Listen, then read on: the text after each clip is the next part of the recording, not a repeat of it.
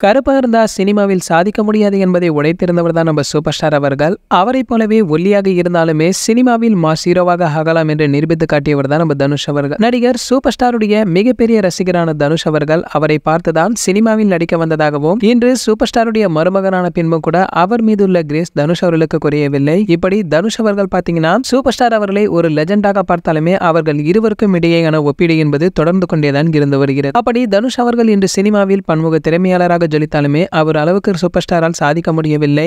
Kollywood Bollywood Hollywood Tollywood என பல்வேறு திரையுலகில் சாதித்த நடிகர்கள் என்றால் அது சூப்பர் ஸ்டார் மற்றும் தனுஷ் அவர்கள் தான். ஆரம்பத்தில் நடிகராக மட்டும் இருந்து தனுஷ் அவர்கள் அதற்கு பின்பு பாத்தீங்கன்னா பாடகராகி அதைத் தொடர்ந்து பாடலாசிரியரானார். அதுலயுமே சக்சஸ் ஆனதால தயாரிப்பாளராகி அதுல வெற்றி கிட்டியதை அடுத்து இயக்குனராகவும் அவதாரம் எடுத்திருக்கார். நாட்டு சரக்கு பாடல் முதல் ராயனில் ஏ ஆர் ரகுமானுடன் சேர்ந்து தனுஷ் அவர்கள் பாடிய அடங்காத அசுரன் பாடல் வரை அவர் பாடிய பெரும்பாலான பாடல்கள் ஹிட் கொடுத்திருக்கு. அதே போல அவர் எழுதிய பாடல்களும் கவனம் ஈர்த்திருக்கு. மறுபக்கம் பார்த்தீங்கன்னா தயாரிப்பாளராக அவர் தயாரித்த எது நீச்சல் காக்கி சட்டை ஆகிய திரைப்படங்கள் நல்ல வரவேற்பையுமே பெற்று வந்திருக்கு. மேலும் இயக்குனராக பவர் பாண்டி ராயன் என்கின்ற அவர் இயக்கிய இரண்டு படங்களுமே ஒரு நல்ல வரவேற்பை பெற்று வந்திருக்கு இதையெல்லாமே சூப்பர் ஸ்டார் பண்ணியிருக்கிறார். அதாவது வள்ளி பாபா போன்ற படங்களுடைய கதை நம்ம சூப்பர் ஸ்டார் உடையது தான் அந்த இரண்டு படங்களுமே தோல்வியை சந்தித்ததால அதற்கு அடுத்தபடியாக அந்த பக்கம் சூப்பர் ஸ்டார் செல்லவில்லை. அதே போல லோட்டஸ் இன்டர்நேஷனல் என்கிற ஒரு தயாரிப்பு நிறுவனம் மூலம் சூப்பர் ஸ்டார் தயாரித்த பாபா படம் படு தோல்வி அடைந்ததால பட தயாரிப்பையுமே கைவிட்டிருக்காரு நம்ம சூப்பர் ஸ்டார் அவர்கள். ஆனால் என்னதான் தனுஷ் அவர்கள் பன்முக திறமையை கொண்ட ஆளாக இருந்தாலும் கூட